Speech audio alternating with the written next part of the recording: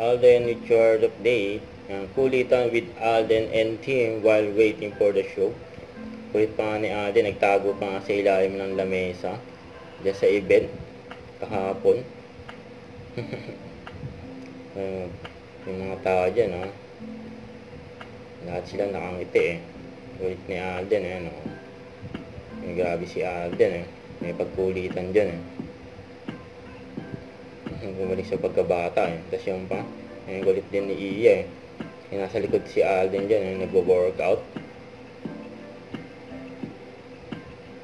And yung pag-workout ni Alden kahapon, kasama niya yung pinsan niya, si Ate April, at mga ka-gymmates niya. Ayan o, may hawak si Alden na tumbler, saka cellphone. Nag-selfie pa nga si Alden dyan eh. Ayan, Pa-share naman ng selfie. Dyan sa cellphone. Ayan o. Huwag kalimutan mag-subscribe, click ang notification bell for more update. Ito po ang Richard Reaction Vlog. Bye guys, team for watching.